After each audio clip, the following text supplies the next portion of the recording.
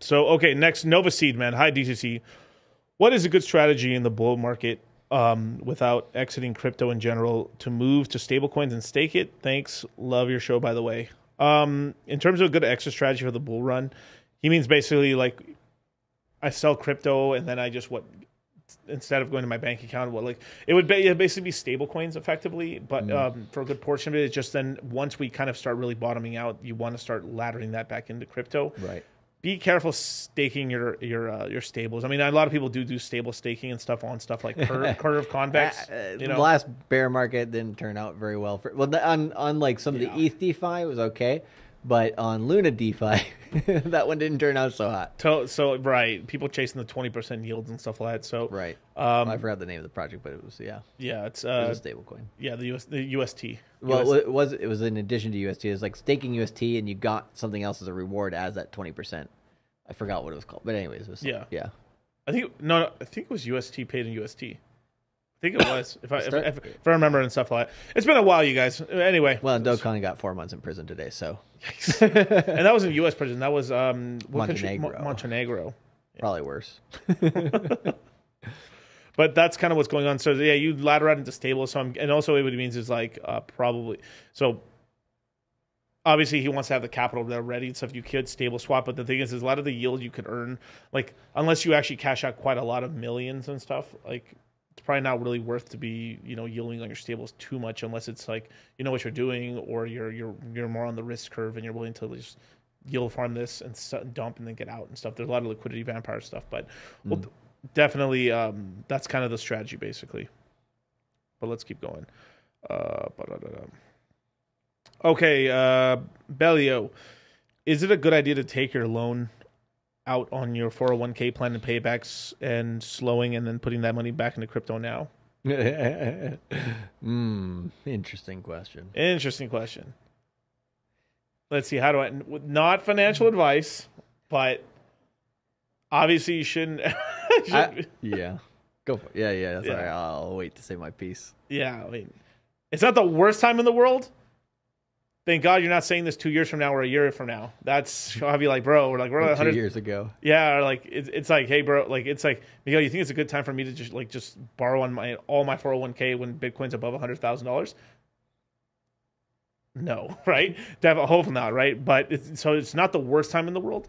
But at the same time, too, you you have to be careful when you're taking that kind of leverage and stuff. It's the same thing people always ask us, "Can I borrow? Should I borrow money? Should I do this and this?" Yeah. You Well, know? well, like borrowing is a lot less, uh, a lot worse than um, just you know selling and going into something else. Like with, you know, let's say for example, the question was instead of 401k, you know, I got a bunch of precious metals in silver and uh, gold or whatever. Right. Should I sell that and and get some, buy some Bitcoin, Ethereum? The answer would be hell yeah.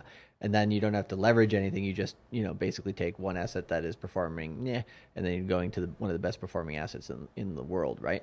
So that would be great, but you, obviously you get penalized for taking out early on your 401k and all that shit. So um, personally, I would say no, right? Yeah. Don't don't leverage it.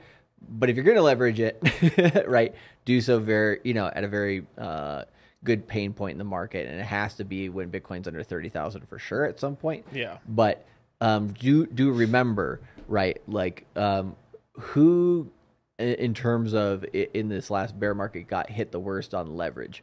Three arrows capital obviously luna in a slightly different way but in terms of in this sense it was more um, you know Alameda capital type uh, and uh, three arrows capital type right? So people who thought they were safe you know to take out leverage um, and that Bitcoin wouldn't go low enough essentially to hit the areas of price it needs to to liquidate them. They'd be like, yeah, this won't get liquidated. We're in a super cycle.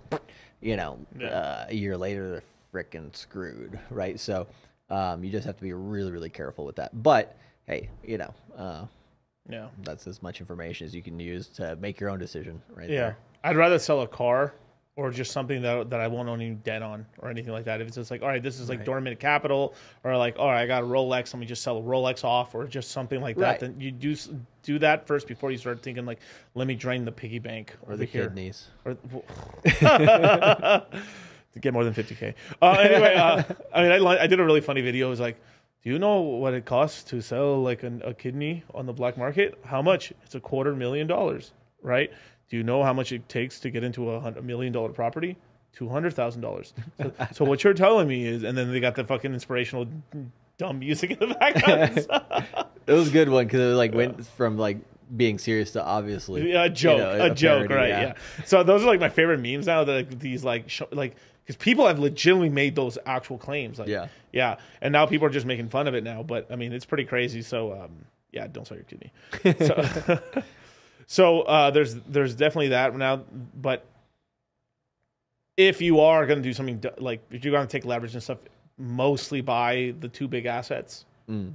But Miguel, I want this to ape into Pulse Chain and all this other stuff. That's fine, but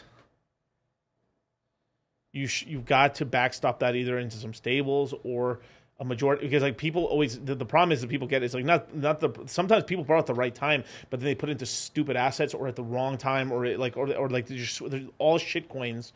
And obviously you I know you guys are pretty like you, like anyone who's watching this show or me or Charlie's shows and stuff is already kind of like not in that whole pleb zone and mm. stuff but and, and misinformed but there is a lot of people who like take that shot because they're listening to one influencer and, and they show one token all the time and then they ape it all into that thing and then when it goes bad they lost the 401k they got they lost all the money in there they lost all the DCA money and then they're just completely wrecked all their ethereum everything gone Yep.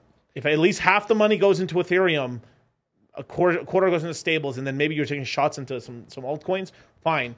But that way, if you mess up, you still have this huge sack right here. And on top of that, if Ethereum and Bitcoin move over the next year to double in price, especially Ethereum is be easier for a double in price. Twenty-seven thousand top bull next bull market. Yeah, some, something. I mean, it's yeah, that's it's, like, Hey, it's possible. I'm not saying it's going to happen. I'm just saying it's, it's definitely possible if Yeah.